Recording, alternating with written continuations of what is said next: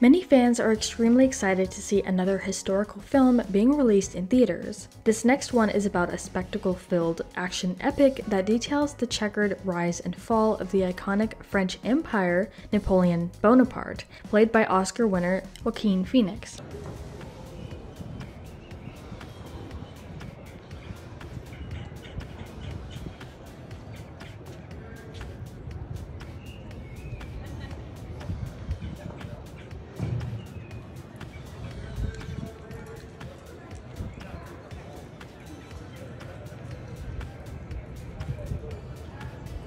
Today we're going to take you behind the scenes and set with some of the creators and cast of this film and take you on the journey through what it was like putting this film together. Ready and backwards, action, action!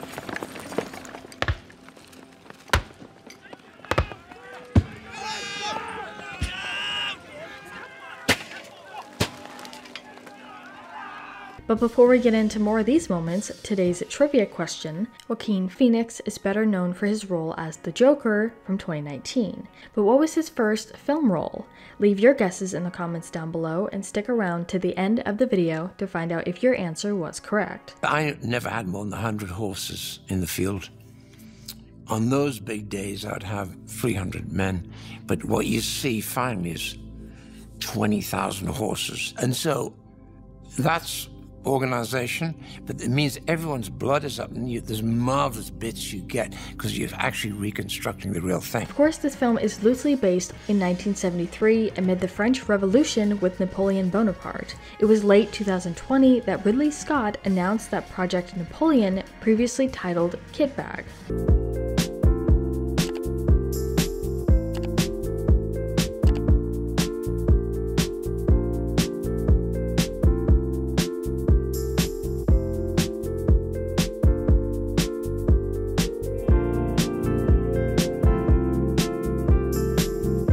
would direct and produce from a screenplay written by Scott's All the Money in the World from 2017 collaborator David Scarpa. The film's working title was derived from Bonaparte's quote, Every French soldier carries a marshal's baton in their knapsack. You know what this is? Napoleon's hat? Nobody knows. These are objects people find and they put them up here and they say, yeah, yeah. But that, look at this one. That's interesting. Mm-hmm. Never, never quite looks the same. When we look at all the people involved 300 men and horses and all of the equipment to make the bombs and cannons this movie really was at a large scale.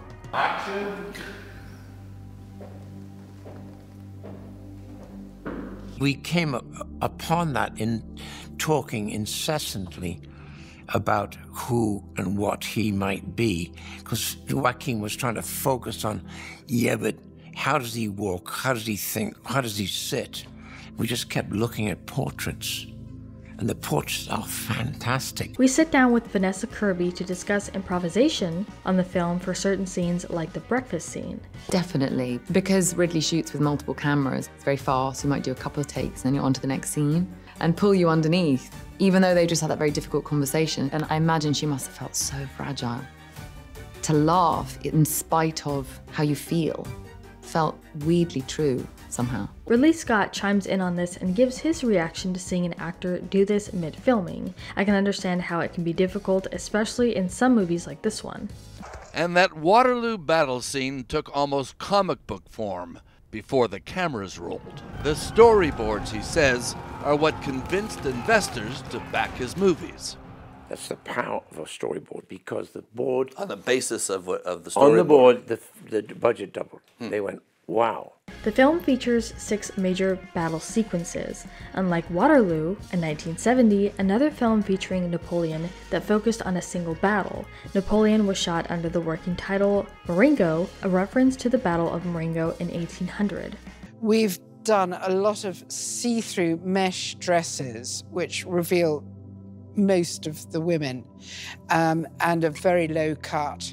And the maddest hats. I've had so much fun with the hats. Big flowers, big straw coming up here.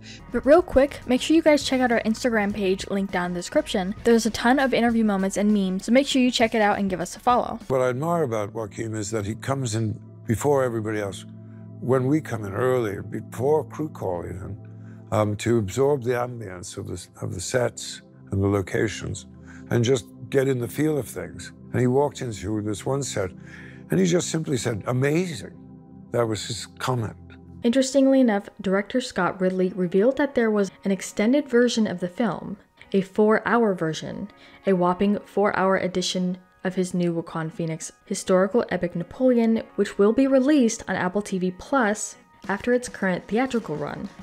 Making the actors comfortable to be able to work within them, the dresses, you know, and the, the looks for Vanessa, the royal military looks for Joaquin. You see all these soldiers walking these fields, running in these fields, battling each other on horseback. All of them have to have their costumes look right. Scott is really trying to tell two stories at once, which barely overlap. There is Napoleon, the shrewd commander, leading thousands of men into almost certain death in battle as he conquers a large part of the world.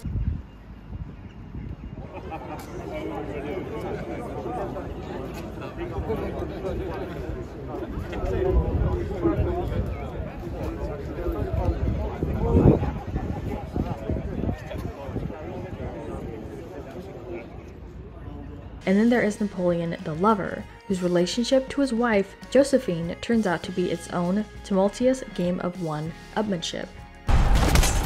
What we're looking at here is not CGI. No, it's all real. I think you feel f- uh, when it's fake, when when it's yeah, you you know it's somehow artificial. All of this is real shooting. We shot this in Malta, which I've been there. Malta, in a funny kind of way, is an architectural gem. Vanessa Kirby gets caught in an interview and gets asked about the film and praises Ridley Scott's role in the film and how he came about it all. He shoots in you know, maybe six cameras, and you'll do a couple of takes because he captures it from every angle.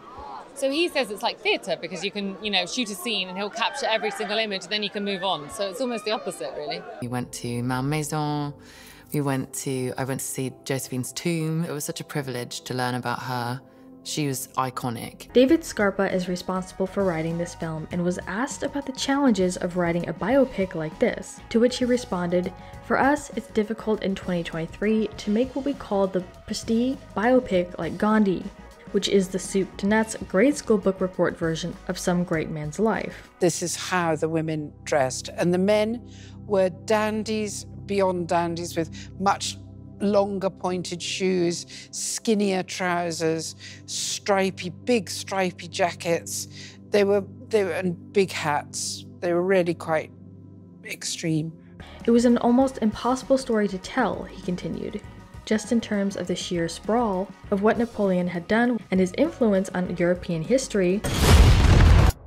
Right there, you see that down. That's a pl- that's an airport down below. That's, That's an an airplane airport? airfield. Oh, right. And, but the wooden is married to the wooden foreground where I shot Marcus Aurelius on Gladiator.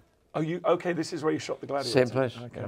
In 45 battles fought in essentially writing the Code Napoleon, which is the basis of much of continental European society. What I found myself most intrigued by was this little visionette in the book about his relationship with Josephine, his wife. The beginning of the journey was reading everything I possibly could about Josephine. I locked myself away and just read every book I could about her. How could a man like this, who's on his way to take Moscow, to take Russia, be obsessed with what his his wife is doing back in Paris? Of all the many takes that this film had to do and all the cast and crew involved, it looked like a fun time putting all of it together and having people like Loris Chevalier to be the his- historical advisor, making sure the film is as historically accurate as possible but changed enough for entertainment as it is still a film. We've recreated the Congress of Vienna.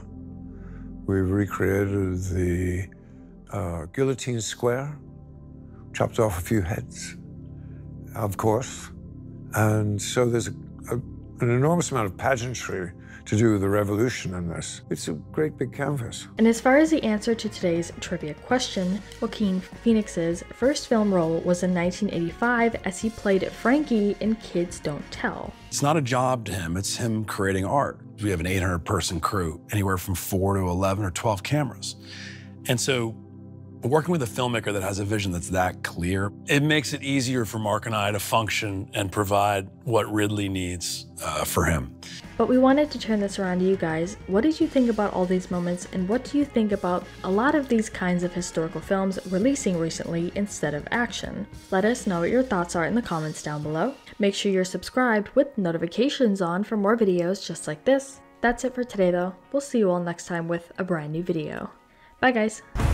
This is an instant classic. This is an extraordinary scene on the on the big screen, isn't it? With yes, the it- so falling through the ice. we and cut the- a large area about the size of two swimming pools. You Go in the tank at Pinewood, you shoot the stuff. In the, Okay, okay. Digital, the, the the cannonballs hitting the water. I love that's digital. Yeah.